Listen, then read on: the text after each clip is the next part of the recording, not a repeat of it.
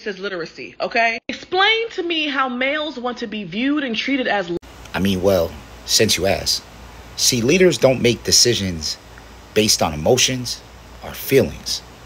Leaders make decisions based upon what is the best decision for the situation. Right now, you and your feelings. But there's something way more important than your feelings, and those are facts. So let me break it down to you. Somebody hits a woman with a brick, attacks a woman, etc., and I involve myself. Now, I'm already dealing with a violent individual, somebody who literally just hit somebody with a brick for almost no damn reason. So I'm definitely getting some violence coming my way when I insert myself in that altercation. Now, say while doing this, I get hit with the brick and I die. You taking care of my kids? You gonna come to my house and make sure my bills are paid and everybody's good?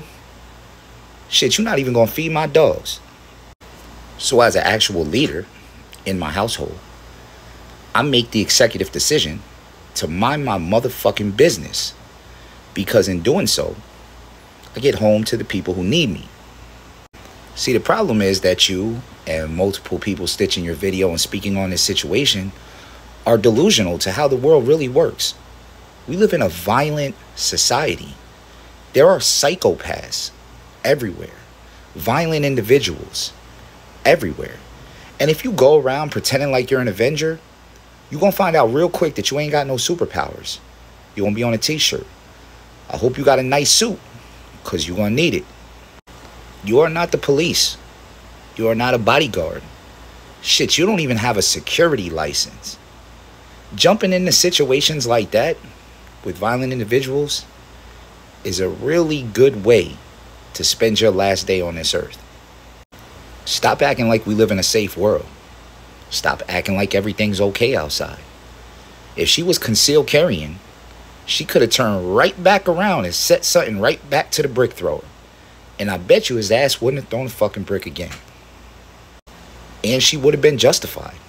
She wouldn't have done a single day in jail. But if I intervened and I did something to the brick thrower, I'd be sitting in prison. And guess who wouldn't send me commissary? You or anyone else that's stitching videos on this damn topic. Guess who wouldn't come to my house and help with the bills, take care of my kids, or, like I said, feed my dogs?